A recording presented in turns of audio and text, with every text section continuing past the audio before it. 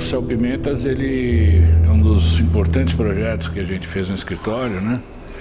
Ele começou ali por volta de 2008, 2009 e a obra terminou em 2010.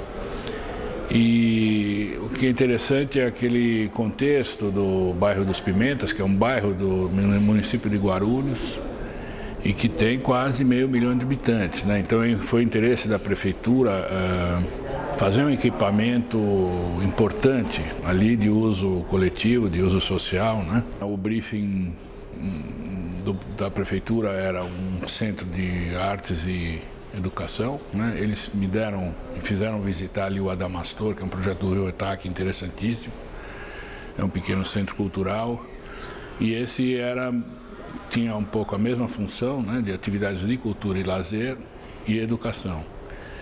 E a partir daí a gente desenvolveu o projeto, uma decisão de fragmentar o, o programa em blocos autônomos, né? e aí cobrimos com uma cobertura única, criamos no meio uma praça coberta.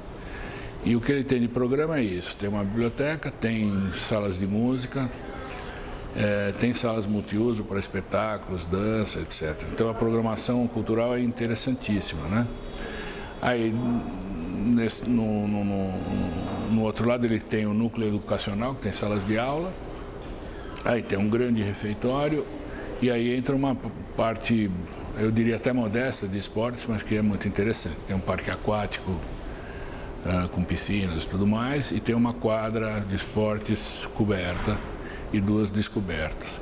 Então é um equipamento que funciona durante a semana e muito durante os fins de semana, que é um pouco o propósito dos céus, né? De, de se tornar um centro comunitário nos finais de semana.